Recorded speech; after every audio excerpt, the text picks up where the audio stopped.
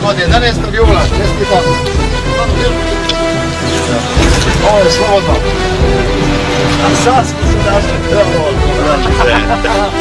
Evo nas 11. jula 1995. godine u Srpskoj Srebrenici.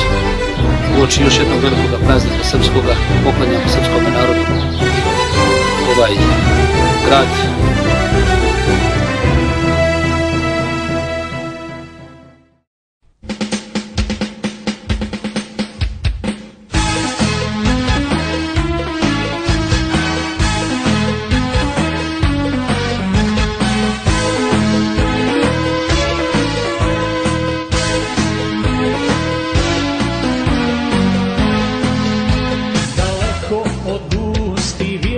vjetnamskih gora, daleko od zaliva Arapskog mora, tragovi su tvoji čizama i vječiti osmijeh na usnama.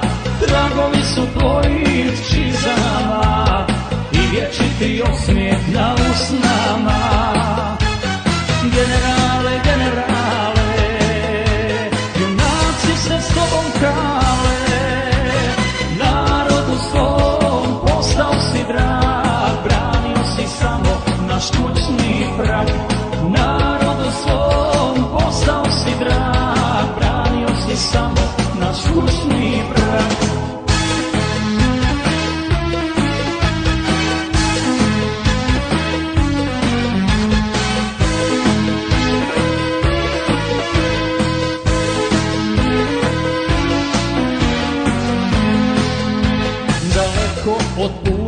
Pustinske pješčane dine, daleko od gorke prave istine, dragovi su tvojih čizama i vječiti osmijeh na usnama.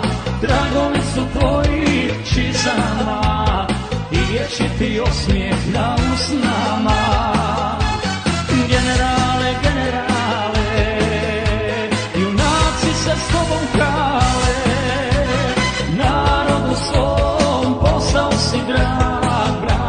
si samo naš kućni prag. Narodu svom postao si drag, branio si samo naš kućni prag.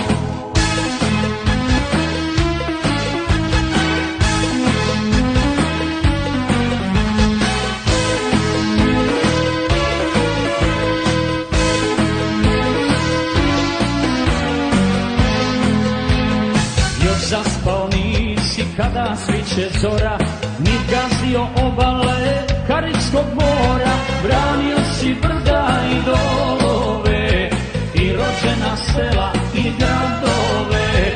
Branio si brda i dolove, i rođena sela i gradove.